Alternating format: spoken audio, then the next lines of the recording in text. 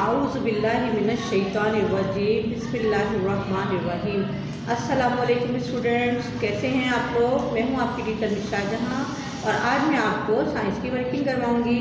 तो स्टूडेंट इससे पहले मैम आपको यूनिट नंबर सेवन का वर्क कंप्लीट करवा चुकी है। तकरीबन बुक में मैम ने आपको रीडिंग करवा दी है एक्सप्लेन भी हो गया है लेसन और उसके बाद बुक वर्किंग भी हो गई है।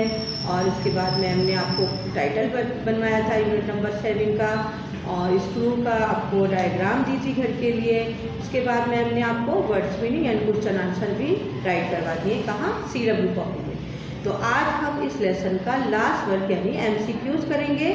तो आप लोग अपनी कॉपी रेडी कर लीजिए स्टूडेंट और आते हैं हम बोर्ड की तरफ़ और एम राइट करते हैं। Okay student okay student copy writing है तमाम स्टूडेंट की? ओके साइंस की सी डब्ल्यू कॉपी सबसे पहले आपने हेडिंग डालनी है. Work and machine unit number seven MCQs okay इसके बाद हम स्टार्ट करते हैं नंबर वन से.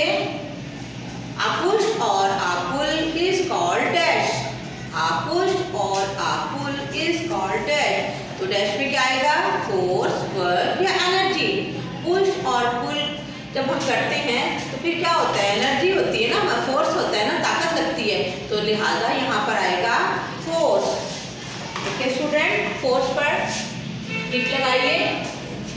आपुल और a pull is called force one complete हो गया है नंबर टू पर आइए। नंबर टू में है to push a heavy thing we need dash force to push a heavy thing we need dash force जब हम हैवी थिंग यानी बहुत भारी चीज़ों को पुश करते हैं तो हमें ज़्यादा एनर्जी की ज़रूरत होती है, यानी कि नो नहीं ज़रूरत होती है, या मोर की मोर एनर्जी की ज़रूरत होती है, या लेस तो क्या आएगा? राइट ऑप्शन क्या है?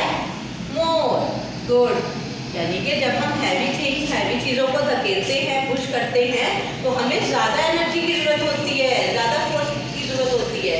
अब हमारे नंबर टू भी कंप्लीट हो गया है, अब हम नंबर थ्री पर आते हैं। देखते हैं नंबर थ्री में क्या है? Dash help us to do work okay student तो हम नंबर थ्री की तरफ़ आते हैं। नंबर थ्री में क्या है?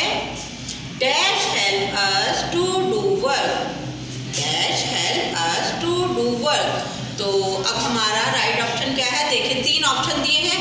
नंबर वन पे है मशीन नंबर टू पर है कार्स और नंबर थ्री पे है एरोप्लेन तो राइट है मशीन गुड मशीन पे हम राइट का टिक लगाएँगे और यहाँ पे machine help us to do work मशीनें क्या करती हैं? मदद करती हैं ना काम में हमारी. ओके तो अब हम आते हैं नंबर फोर की तरफ़. देखते हैं नंबर फोर में क्या है?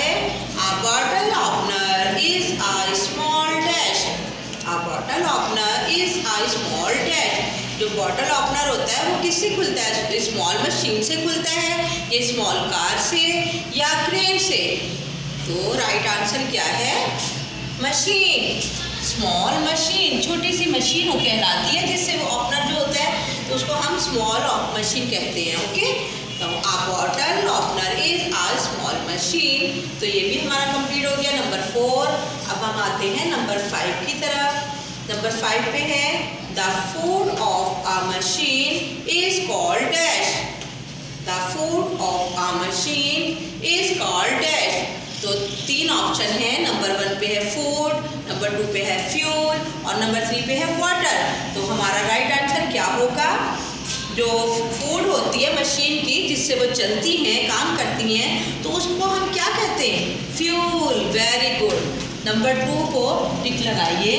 Fuel the food of a machine is called fuel machine जिस चीज़ से चलती है, उसकी खुराक क्या होती है? फ्यूल होती है. पेट्रोल की सूरत में ऑयल की सूरत में, या सीएनजी जो भी है, वो उसको हम फ्यूल का नाम देते हैं. ओके नंबर थ्री सिक्स पर आते हैं हम. नंबर सिक्स पे है fuel gives dash to the machine to do work तो क्या आएगा? फ्यूल गिव्स डैश डैश में तीन ऑप्शन है हमारे पास. नंबर वन पे है वर्क नंबर टू पे है एनर्जी और नंबर थ्री पे है पेट्रोल तो फ्यूल गिव्स तो फ्यूल क्या देती है हमें?